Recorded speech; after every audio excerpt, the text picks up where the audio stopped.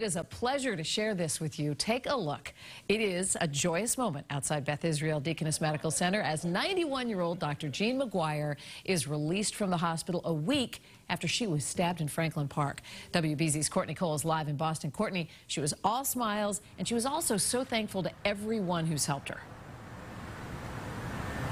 Absolutely. And tonight, Miss McGuire and her family, they are so thankful to the medical team here at Beth Israel. But they're also very grateful, they say, to the two people that found Miss McGuire after she was attacked and made sure that she got help. I've never, in my 91 years, not felt safe walking the streets of Boston day or night. Never. Now, Miss Jean McGuire says she will never go back to the park again alone. It's in my head that it, it, it, wouldn't be wise. It's a different time. Last Tuesday, McGuire, a civil rights leader and educational pioneer, as a former executive director of Metco, was stabbed several times while walking her dog in Franklin Park. I used the training I had, which I did with my staff, to protect myself if somebody attacks my body.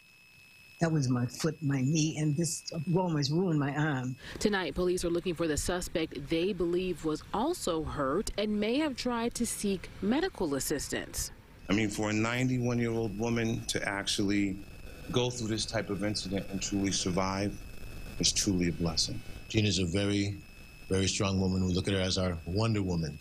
McGuire's nephews, Mark Williams and Ron Mitchell, a WBZ employee, say she's recovering well but she still has a long way to go.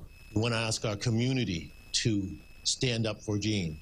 If you know anything, if you saw anything, even if you don't think it matters, please call the uh, Crime Stoppers line. When it comes to her assailant, McGuire just wants to know why.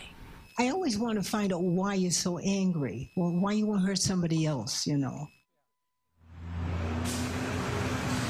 Now, selflessly, Miss McGuire chose to make today about we and not me. So coming up in the next hour here on WBZ, I'll tell you what her nephew said you can do, you watching right now, if you want to help Miss McGuire. Reporting live at Beth Israel Deaconess Medical Center, I'm Courtney Cole for WBZ News. We all want to help. We'll see you at 6 o'clock. Courtney, thank you. Now